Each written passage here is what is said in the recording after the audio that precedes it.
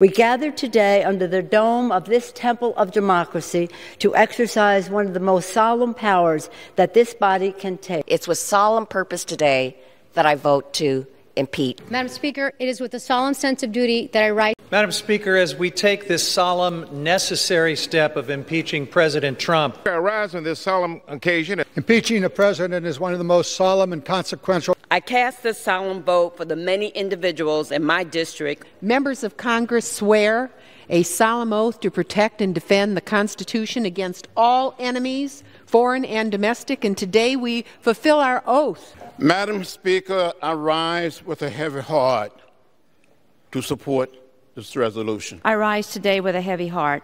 It is with a heavy heart, but a resolved one. Madam Speaker, it is with a heavy heart and a profound sense of the gravity of this moment that I rise today in support of the impeachment. Madam Speaker, I rise with a heavy heart.